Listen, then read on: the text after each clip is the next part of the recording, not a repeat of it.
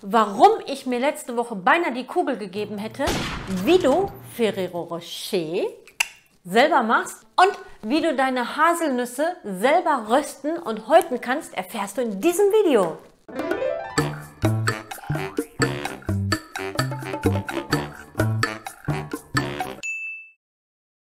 Und herzlich willkommen bei Bananenbrot TV. Schön, dass du wieder bei uns bist, dass du auf dieses Video geklickt hast. Und wenn du auf dieses Video geklickt hast, dann wahrscheinlich, weil du wissen möchtest, wie du deine Ferrero Rocher selber machen kannst. Ich stand letzte Woche im Supermarkt und dann habe ich gesehen, es gibt Ferrero Rocher. Und habe ich gedacht, oh mein Gott, habe ich gedacht, das kann nicht wahr sein. Ich kann nie wieder Ferrero Rocher essen, weil es ja nicht vegan ist. Ich dachte, das musste irgendwie selber hinkriegen. Ich war total verzweifelt und habe gesucht, gesucht, gesucht, habe ein Rezept gefunden. Das werde ich heute für dich und für mich natürlich an erster Stelle nachmachen. Und ich hoffe, das klappt. Ja, ich bin echt gespannt, weil da ist unheimlich viel ungesunde Schokolade drin. Ich habe auch schon mal was vorbereitet.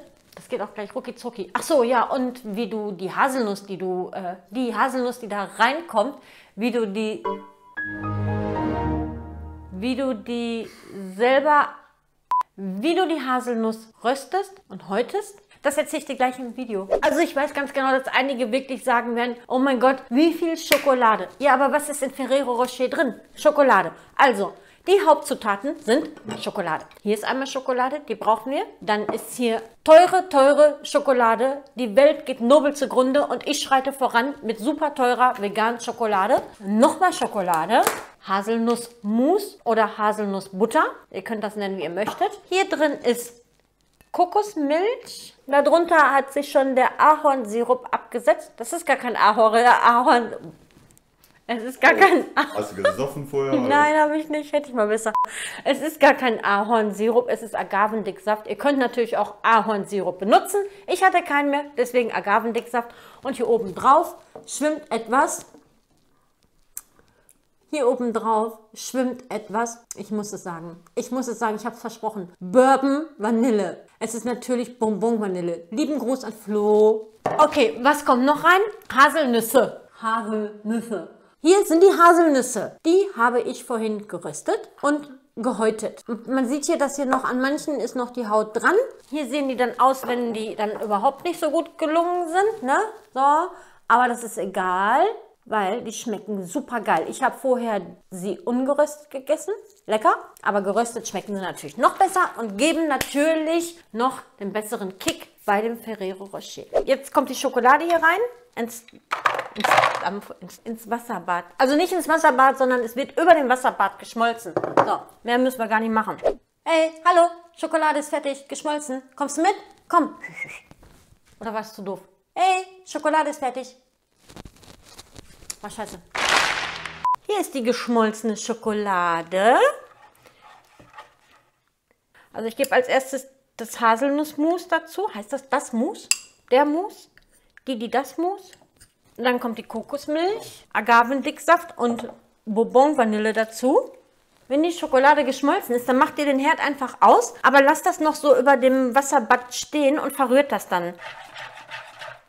Das ist eigentlich schon alles. Ihr könnt, wenn ihr möchtet, einfach so eine halbe Handvoll oder eine Handvoll gehackte Nüsse da reinmachen.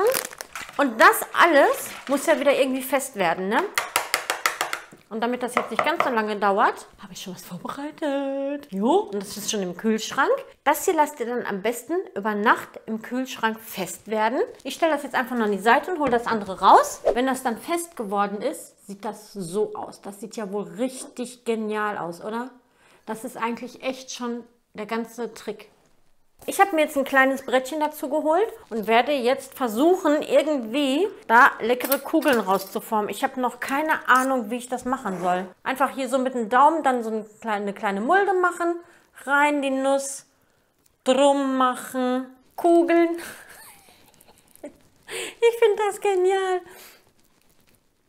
So, ich habe jetzt hier 10 Kugeln geformt und das Rezept sagte sogar 10. Warte mal, ich zähle nochmal lieber nach. 1, 2, 3, 4, 5, 6, 7, 8, 9, 10. Stimmt. Also, was brauchen wir noch? Was muss da noch drum? Schokolade!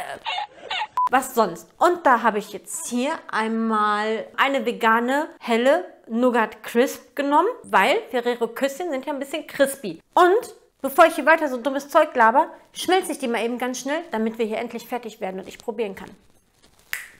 So, jetzt habe ich die Schokolade geschmolzen. Und ich habe extra diese Nougat Crisp genommen, damit das so ein bisschen crispy ist. Denn eigentlich ist ja bei dem Ferrero Rocher immer noch so eine Waffel drumrum. Geht aber nicht. Solche Waffeln kann man kaufen, aber die kriegst du auch nicht überall. Und deswegen, damit so ein bisschen dieser Crunchy, dieser Crisp ist, habe ich diese Nougat Crisp genommen. Und jetzt hauen wir einfach die Kugeln hier rein. Zack. Oh. Ich glaube, das mache ich auch mit dem Finger. Ha? Hm. Lieber nicht. Mmh. das ist die größte Sauerei hier. Drauf auf den Teller. Die müssen jetzt noch ins Gefrierfach, weil sie ja fest werden müssen. Und deswegen packe ich die jetzt schnell ins Gefrierfach, damit ich die gleich probieren kann. Ich bin gespannt. Sie sehen strange aus. Schauen wir mal. Dann sage ich einfach nur bis gleich. Ferrero Rocher ist angerichtet. Ich habe es aus dem Ofen genommen, wollte ich sagen. Habe ich jetzt auch aus dem Gefrierfach genommen. Meine Güte. Und ich muss echt sagen, ich bin ein klitzekleines bisschen enttäuscht und überlege gerade allen Ernstes, ob ich mir die Kugel gebe. Ich werde das jetzt auf jeden Fall probieren und werde dann mein Statement dazu abgeben, wie immer. Ich wollte noch erzählen, wie man Haselnüsse röstet und häutet. Ofen auf 175 Grad ungefähr einstellen, Ober- und Unterhitze. Dann nimmst du die Nüsse, packst du aufs Backpapier drauf, ab in den Ofen für 7 bis ca. 12 Minuten. Nicht vergessen, die Nuss dabei zu beobachten, die Nüsse im Ofen, weil die verbrennen leicht. Dann rausnehmen, auf ein Tuch legen. So habe ich das auch gemacht. Hier einfach nimmst du einfach so ein Küchentuch, legst die da drauf, faltest das zusammen und dann einfach so ein bisschen reiben hin und her. Und durch die Reibung der Nüsse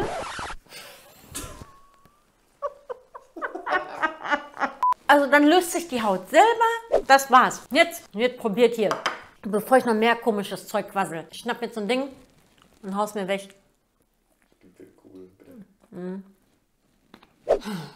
Ich bin echt wirklich ein kleines bisschen enttäuscht. Es schmeckt nicht so, wie ich mir das vorgestellt habe. Ich habe wahrscheinlich das falsche Rezept genommen. Mir persönlich schmeckt es lecker, schmeckt aber nicht nach Ferrero Rocher.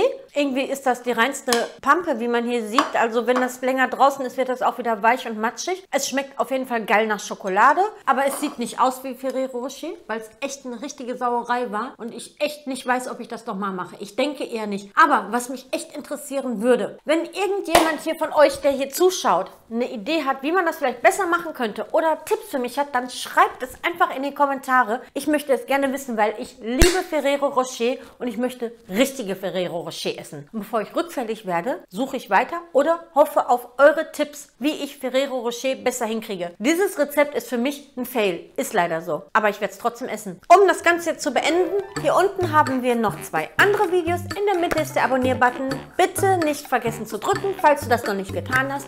Damit unterstützt du uns ein bisschen. Ich sage einfach nur noch Ciao mit V, Bananenbrot TV.